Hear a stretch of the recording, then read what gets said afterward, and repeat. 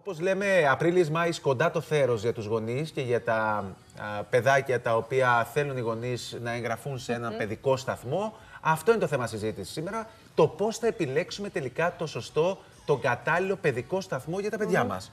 Βέβαια, το κατάλληλο Υπάρχουν σχολικό. κάποια κριτήρια πολύ συγκεκριμένα. Υπάρχουν κάποια κριτήρια τα οποία θα τα συζητήσουμε τώρα εδώ και θα τα ακούσουν και οι τηλεθεατές μας. Ε, διότι, όπως όλοι γνωρίζουμε, το σχολείο είναι ο δεύτερος φορέας κοινωνικοποίησης του παιδιού. Είναι το δεύτερο του σπίτι. Οπότε δεν πρέπει και εμείς οι γονείς να είμαστε αρκετά προετοιμασμένοι για το πού αφήνουμε το παιδί μας τόσες ώρες Και μετά από ειδικά το στον σπίτι παιδικό μας. σταθμό, που είναι η Βέβαια. πρώτη του επαφή φεύγοντας από το σπίτι με άλλα παιδάκια, με δασκάλους, με αυτή την επαφή που δεν έχει γνωρίσει μέχρι πρότινος. Ακριβώς. Μεγάλο ρόλο παίζουν οι άνθρωποι που αποτελούν το ζωντανό οργανισμό όλων αυτών των ε, προσχολικών μονάδων, να το πω, ε, Ναι. παιδευτικών μονάδων. Αλλά επίσης μεγάλο ρόλο παίζουν και οι χώροι στους οποίους θα κοινωνικοποιείται καθημερινά το παιδί. Θα νιώθει ελεύθερο, άνετο, έτσι, και θα διαδράτη με τα υπόλοιπα με παιδιά. τα υπόλοιπα παιδιά. Είναι πολύ σημαντικό είτε επιλέξουμε το παιδί μας να πάει σε, κάποιο, σε κάποια δημόσια δομή, είτε σε έναν ιδιωτικό παιδικό σταθμό. Είναι πάρα πολύ σημαντικό να τσεκάρουμε κάποιες λεπτομέρειες από πριν. Μην περιμένουμε τελευταία στιγμή να φτάσει, ας πούμε, Σεπτέμβρη και να πούμε Α, τώρα που θα πάει το παιδί Και μου. δεν- αν θα έχει και και θέσεις αν θα έχει και θέση διαθέσιμες. διαθέσιμη, που είναι πάρα πολύ δύσκολο. Γι' αυτό Πάμε να λοιπόν. τα δούμε όλα. ε, οι γονείς από τώρα σιγά σιγά ξεκινούν και βλέπουν. Ε, πάνε και βλέπουν διάφορους παιδικούς σταθμούς για να δουν σε ποιον θα καταλήξουν και εν τέλει θα πάει το παιδί τους. Είναι πολύ σημαντικό, όπως είπε και ο Λευτέρης, να εξετάσουμε τους χώρους στους οποίους θα κινηθεί το παιδί μας. Και τον εσωτερικό χώρο και τον εξωτερικό χώρο του παιδικού σταθμού. Στον Στο- εσωτερικό, ας πούμε, τι πρέπει να προσέξουμε; στο εσωτερικό, που όπως καταλαβαίνετε είναι η βιτρίνα, έτσι, Το ε, καμάρι. το καμάρι, ας πούμε. Θα πρέπει να παρατηρήσουμε φυσικά την καθαριότητα του χώρου, το πόσο καθαρός είναι ο χώρος, να ρωτήσουμε αν υπάρχει κάποια α, κυρία η οποία είναι όλη τη μέρα στο χώρο και καθαρίζει. Έχετε κάποιες συγκεκριμένες ώρες, τι ακριβώς συμβαίνει; Πώς το διαχειρίζεται η κάθε δομή; Ε, Επίσης, είναι πολύ σημαντικό να τσεκάρουμε το θέμα της ασφάλειας στους εσωτερικούς χώρους. Σε ποια θέση είναι ας πούμε, τοποθετημένα τα έπιπλα, πώς είναι τοποθετημένα, το ύψος τους. Ε, τα ράφια που έχει ο παιδικό, Βιβλιοθήκες. οι βιβλιοθήκες. Θα μου πείτε, θα μπει ένας γονιός τώρα και θα ξεκινήσει να τσεκάρει, να βλέπει. Και όμως Καλό είναι να μπορεί ξέρει, στην να πρώτη γνωρίζει. βόλτα εκείνη που θα, α, που θα κάνει την αναγνωριστική και σίγουρα θα του δείξουν το χώρο με ένα ραντεβού, να προσέξει και αυτές τις μικρές λεπτομέρειες που όμως μπορεί να κάνουν τη διαφορά. Ε, επίσης, είναι σημαντικό στον χώρο που θα μπούμε τον εσωτερικό να τσεκάρουμε τι υπάρχει στους τοίχους του παιδικού σταθμού.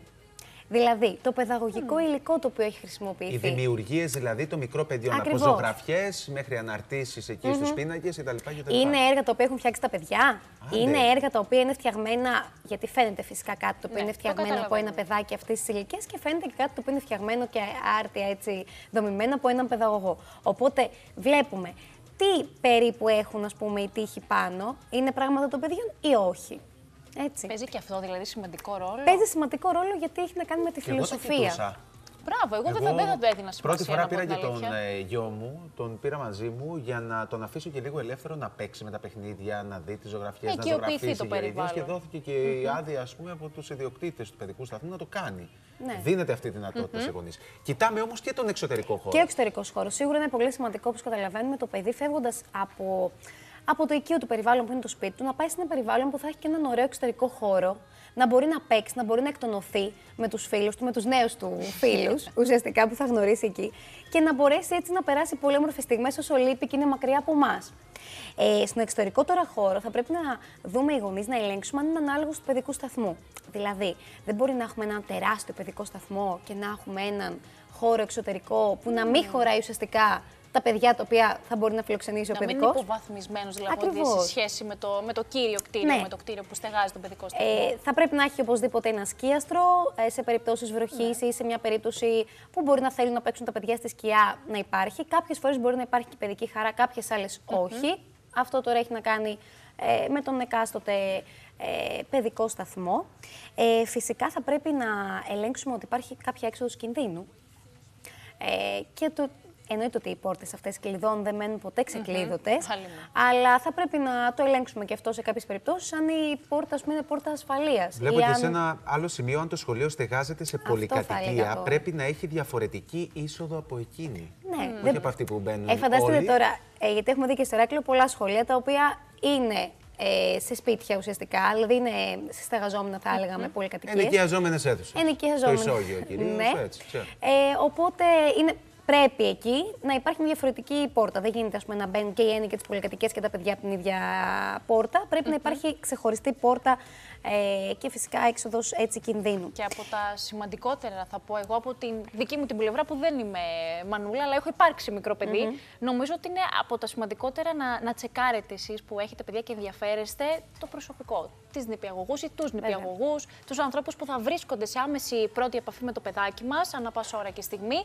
να, να μας εμπνέουν εμπιστοσύνη, νομίζω. πιο να, βασικά να το νιώθουμε. κριτήρια. αυτό. από έτσι, τα από πιο, τα πιο βασικά. βασικά. Και εννοείται ότι μπορούμε να ζητήσουμε, εάν είναι ένας ιδιωτικός παιδικός σταθμός, από τον ιδιοκτήτη, αν είναι ένας δημόσιος, από τη διευθύντρια του σχολειου να μας συστήσει τον άνθρωπο που αναλαμβάνει τα παιδιά την πρώτη τους χρονιά. Γιατί συνήθως υπάρχει ένα, ένα συγκεκριμένο άτομο το οποίο παίρνει τα παιδιά την πρώτη χρονιά, ένα άλλο τη δεύτερη και ούτω καθεξής.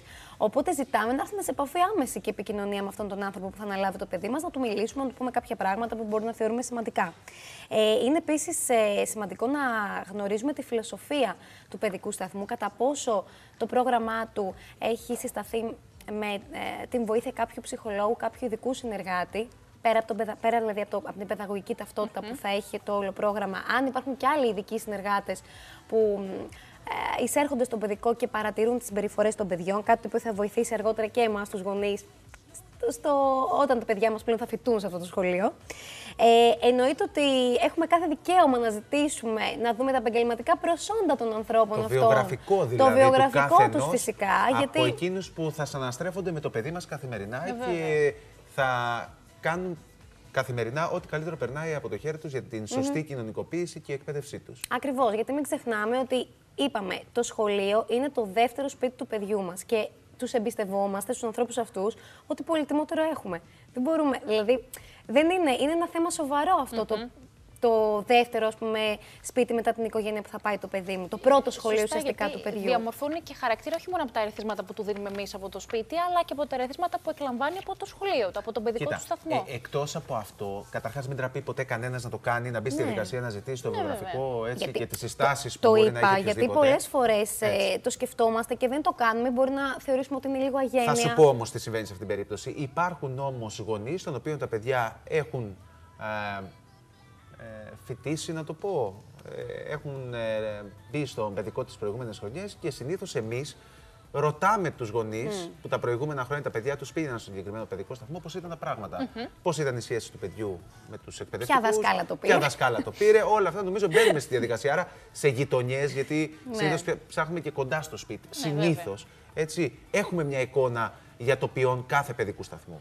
Εννοείται. Έτσι. εννοείται. Και, και θα πρέπει να το κάνουμε αυτό. Τώρα, ε, ένα πολύ σημαντικός παράγοντας είναι επίσης το πρόγραμμα και ο τρόπος λειτουργίας. Ε, ε, μία από τις βασικές ερωτήσεις που πρέπει να κάνετε ως γονείς είναι το πώς γίνεται η προσαρμογή του παιδιού. Αυτό ε, θέλω να σας ευστήσω την προσοχή, διότι υπάρχουν κάποιοι παιδικοί που ακολουθούν κάποιες ε, αναχρονιστικές, θα έλεγα, ε, έτσι, Τακτικές και τακτικές πρακτικές. στο να προσαρμόσουν τα παιδιά. Ε, θα πρέπει να αναζητήσετε αυτήν που ταιριάζει και με τη δική σας φιλοσοφία. Δηλαδή, μην αφήσετε το παιδί σα σε ένα παιδικό σταθμό στον οποίο εσείς από αυτά που σας λένε δεν αισθάνεστε πολύ άνετα ή θεωρείτε ότι θα αισθανθείτε πολύ άβολα τις ημέρες mm-hmm. εκείνης της προσαρμογής. Αυτό που συνήθως γίνεται είναι να αφήνουμε τα παιδιά κάποιες ώρες στο χώρο, λίγες ώρες στην αρχή, μαζί με τους γονείς και αφού περάσουν οι Σιγά ημέρε σιγά. λίγο σιγά-σιγά, αρχίζει ο γονέα και απομακρύνεται, απομακρύνεται μέχρι το παιδάκι μένει τελείως μόνο του στο χώρο. Βασικό επίσης κριτήριο να ενημερωθούμε για την αναλογία των ε, παιδιών και των παιδαγωγών. Βέβαια. Πολύ βασικό. Δηλαδή, ή πρόκειται για ολιγομελή τμήματα τα οποία θα δημιουργηθούν. Το παιδί μας θα είναι με άλλα 15-20 που νομίζω είναι ε, ένα. Ένας καλός αριθμός το 15. Μέχρι 15 παιδάκια με δύο άτομα μέσα, γιατί συνήθως υπάρχει κάποιος βοηθός, δεν είναι μόνο. Συνήθω τα τμήματα είναι γύρω στα 12. Στους δημόσιους είναι γύρω στα 15 με 20. ε, Εκεί, νομίζω κάπως ναι. έτσι πάει. Αλλά όπως και να έχει και πάλι, να ξέρετε ότι είναι δύο παιδαγωγοί συνήθως που βρίσκονται στην τάξη. Ε, ο ένας βοηθάει τον άλλον προκειμένου έτσι να έχουν όλη την επίβλεψη της τάξης. Ε, θα πρέπει επίσης να δείτε αν ο παιδικός σας σταθμός δέχεται το παιδί χωρίς να έχει βγάλει την πάνα του. Υπάρχουν κάποιοι σταθμοί ας πούμε, που Α. μπορεί να θέλουν να, έχεις, να έχει βγάλει το παιδί την πάνα Υπάρχει πρωτού τέτοια πάει. παράμετρος δηλαδή; Υπάρχει και τέτοια παράμετρος, ναι, και θα πρέπει και αυτό να το ελέγξετε για πανενδεχόμενο. Ε, μ, και μ, φυσικά να πούμε εδώ ότι η φιλοσοφία που έχει ο κάθε παιδικός ε, θα πρέπει να ταιριάζει με την κάθε οικογένεια. Δεν είναι, δεν είναι τα πάντα για όλους. Αυτό νομίζω το καταλαβαίνουμε ότι ταιριάζει έχει να Ναι. κάνει με τα πάντα που έχουν να κάνουν με τα παιδιά μας. Σωστά και ειδικά για γονείς οι οποίοι θέλουν και να ενημερώνονται πιο συχνά ή σε μια καθημερινή βάση ενδεχομένως για το τι ακριβώς συμβαίνει στο σχολείο, τι μαθαίνουν τα παιδάκια στον παιδικό σταθμό, αν ε, έχουν οικειοποιηθεί το, το περιβάλλον. Ακριβώς. Θέλουν να ενημερώνονται και είναι δικαίωμά τους. Ακόμα και αυτό λοιπόν θα πρέπει να το ρωτήσουν Βασική οι επαφή. γονείς. Ε, ποια είναι, ποιος είναι ο τρόπος επαφής με τους γονείς; Γίνονται κάποιες συναντήσεις με όλους τους γονείς; Ε, είναι τηλεφωνικά τα ραντεβού; Είναι Διαδικτυακά, με διαζώσεις, mail; διαζω- ε, διαδικτυακά τώρα που έχουμε ε, κορονοϊό και ενδεχομένως υπάρχουν έτσι άλλα α, προβλήματα. Ε, υπάρχει κάποιος ψυχολόγος στον παιδικό που αν ένας γονιό, γονιός αισθανθεί την ανάγκη να τον ρωτήσει κάτι ή δύο ψυχολόγους για παράδειγμα κάτι να συμβαίνει με τη συμπεριφορά του παιδιού, μπορεί να απευθυνθεί; Όλα αυτά είναι ερωτήσεις που καλό είναι να τις ε, θέτουμε. Ε, επίσης, ε, θα πρέπει να ενημερωθούμε για το τι συμβαίνει όταν αρρωστήσει ένα παιδί να χτυ- ή χτυπήσει. Ποια είναι η τακτική που ακολουθεί ο παιδικός σταθμός σε αυτή την ε, περίπτωση; Παίρνει το γονιό τηλέφωνο, του το λέει όταν φτάσει ε, στην πόρτα να το πάρει, κάτι που για μένα είναι λάθος. Γιατί όταν συμβαίνει στο σχολείο Παίρνει όταν κάτι πρέπει σχολάσει, δηλαδή, το να πάρεις το παιδάκι. παιδί απευθεία, να πάρεις το γονέα μάλλον απευθείας τηλέφωνο, τον Βέβαια. ενημερώσεις και να είναι ενήμερος για οτιδήποτε συμβεί. Για να είναι και η εκπαιδευτική δηλαδή καλυμμένη. Και πλέον λόγω και COVID, ε, τώρα γιατί βλέπω ότι ε, αυτό μπορεί να συμβεί και σε περίπτωση μετάδοσης μιας αρρώστιας Ναι. όπως ο COVID, έτσι, λόγω πανδημίας. Ε, πλέον ε, θα πρέπει να ενημερώνουν οι παιδικοί σταχ- σταθμοί, ενημερώθηκα και εγώ πρόσφατα σαν γονιός, να ενημερώνουν οι παιδικοί σταθμοί για τις απουσίες των παιδιών τα οποία Ναι. νόσησαν από κορονοϊό. Άρα τα ψάχνουμε πλέον, το, το πάθημα θα μας γίνει μάθημα πλέον. Έτσι, Πολύ για να δούμε σωστά, και Ελευθέρη. δικαιολογημένη. Πρέπει να γνωστοποιηθεί αν είναι δικαιολογημένη η απουσία του παιδιού, για ποιο λόγο κτλ. κτλ. Και κάτι τελευταίο στον τρόπο λειτουργίας έχει να κάνει με την πειθαρχία. Πώς έχει επιλέξει ο κάθε παιδικός σταθμός να πειθαρχήσει τα παιδιά. Ακολουθεί, ας πούμε, παραδείγματα όπως να τα βάζει ας πούμε, τιμωρία ή σε καρεκλάκι της σκέψης. Ε, ή ακολουθεί το να συναισθανθεί το συνέστημα του παιδιού, την ενσυναίσθηση, την αποδοχή και γενικά τους τρόπους αυτούς που ξέρουμε της θετικής διαπαιδαγώγησης που πλέον ακολουθούν οι περισσότεροι παιδαγωγοί.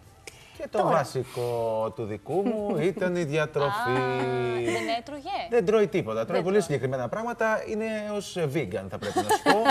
ναι, δεν μπορεί το κρέας. Δεν τον κάλυπτε Σας δηλαδή, το έχω το πει αυτό. διατροφολόγιο Δε- του δε- παιδικού σταθμού. Έχει τα πάντα.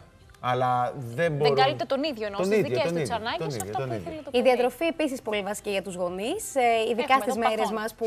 Ναι. Ειδικά και στις μέρες μας που πολλά παιδάκια μπορούν να έχουν αλλεργίες ή μπορεί να έχουν κάποιες άλλες δυσκολίες με το φαγητό τους καλή ώρα. Οπότε πρέπει και ο παιδικός να δώσει ε, το βάρος που πρέπει σε αυτό το θέμα. Βγαίνει εβδομαδιαίο πρόγραμμα διατροφικό πλάνο για τα παιδιά και ξέρει ο γονιός ότι το παιδί έχει ας πούμε κάτι το οποίο δεν τρώει. Φροντίζουμε τον ταΐζουμε Ωραία. λίγο παραπάνω. Κατάλαβε, ή όταν έρχεται θα τρώει και εμάς τους ίδιους με το κομμάτι. Κάπως Εκεί έτσι λοιπόν πάει. Τα βλέπουμε τα παιδάκια. γεύματα που α, παρέχει ας πούμε, ο παιδικός στα παιδιά, πού ακριβώς τρώνε τα παιδιά, αν υπάρχει ξεχωριστός χώρος τραπεζαρία, αν είναι μέσα στην τάξη τους, πώς γίνεται αυτή η διαδικασία του γεύματος. Εννοείται το μενού. Ποιες ώρες; Ποιες ώρες, ναι. Ε, αλλά και το μενού. Έχει, ας πούμε, συνταχθεί το μενού από κάποιον ειδικό διατροφολόγο; Προσέξτε. Πρέπει να το ρωτήσουμε και αυτό είναι σημαντικό. Και όχι να είναι ένα μενού Και αυθαίρετο. όχι να είναι ένα μενού από- αυθαίρετο. Μάλιστα, Ακριβώς, από για να είναι και κάποιον πιο άλλον. υγιεινό για τα παιδάκια μας. Ε, και τέλος, φυσικά, αν επιλέξετε έναν ιδιωτικό και όχι έναν ε, δημόσιο παιδικό σταθμό, θα πρέπει να ρωτήσετε και τα δίδακτρα, προφανώς. Από τις βασικότερες, Ε, νομίζω, ερωτήσεις που Και, αν, και, υπάρχουν. και τον τρόπο αποπληρωμής. Γιατί και αυτό είναι πολύ σημαντικό για τους γονείς. Ε, ειδικά για κάποιους γονείς που μπορεί να δουλεύουν, δεν, έχουν, δεν μπορούν για κάποιο λόγο να πάνε το παιδί τους σε μια δημόσια δομή και πρέπει να πάνε, ας πούμε, σε ένα ιδιωτικό σχολείο. Ε, Πώς θα το αποπληρώνουν, Μπορούν π.χ. με δόσεις, ε, πρέπει να υπά- υπάρχει κάποια Αρχή του προκαταβολή, μήνα. αρχή Ποια του είναι, μήνα. ποια είναι επίσης τα βασικά, ρωτήστε το αυτό, ποια είναι τα βασικά πάγια τα οποία πρέπει να πληρώνουν οι γονείς κάθε μήνα. Τι γίνεται με την έναρξη της ε, σχολικής χρονιάς με την γρα, γραφι- Ναι. Με τη γραφική. γραφική ύλη. Με τη γραφική ύλη που Άγρια. είναι ένα στάνταρ ποσό για Ακριβώς. όλη τη χρονιά. ας Μπορεί, πούμε. ας πούμε, π.χ. να μας πούν ότι θέλουμε 70 ευρώ π.χ. το κάθε παιδάκι το χρόνο για να πάρουμε κάποια χαρτόνια, Και κάποιους βάλε. μαρκαδόρους, διάφορα πραγματάκια τώρα που μπορούν Όλο να τον χρειαστούν. εξοπλισμό που χρειάζεται. Ναι. Για να περάσουμε Οπότε, αφού κάνετε όλες αυτές Ναι. τις ερωτήσεις και κάνετε το ψάξιμό σας στις διάφορες δομές που υπάρχουν ε, στην πόλη μας, Μπράβο. ε, θα αποφασίσετε σε ποιο σχολείο θα πάτε το παιδάκι σας. Ε, φυσικά πάντα ακολουθώντας και το δικό σας ένστικτο. Εγώ πάντως έχω βασικός εντυπωσιαστεί με το παράγοντας. επίπεδο των ε, δημόσιων παιδικών σταθμών. Θα μιλήσω για την πόλη μου. Ε, υπάρχουν κάποιοι, κάποια, α, κάποιοι πρότυποι παιδικοί σταθμοί Βέβαια. στο Ηράκλειο που δεν έχουν να ζηλέψουν σε τίποτα τους ε, ιδιωτικούς. Ε, και είναι ένα αισιόδοξο μήνυμα και το καλό είναι ότι πλέον βλέπω να λιγοστεύουν και οι νοικιαζόμενες αίθουσες σε πολυκατοικίες και σε Σημαντικό μονοκατοικίες. Έτσι. Ότι επιτέλους Πολύ ε, σημαντικό. χτίζονται Και να μην καινούργιοι- χτίζονται παιδικοί σταθμοί κλουβιά ε, στην ε, πόλη μας. Ωραία. Λοιπόν, ε, σε ευχαριστούμε. πολύ, Εύη. Και εγώ Εξαιρετικό το ευχαριστώ. θέμα. Ευχαριστώ πάρα πολύ, Μπράβο. παιδιά. Πολύ Ελπίζω να ενδιαφέρον. βοηθήσαμε τους γονείς Α, που μας παρακολουθούν. αν βοήθησες.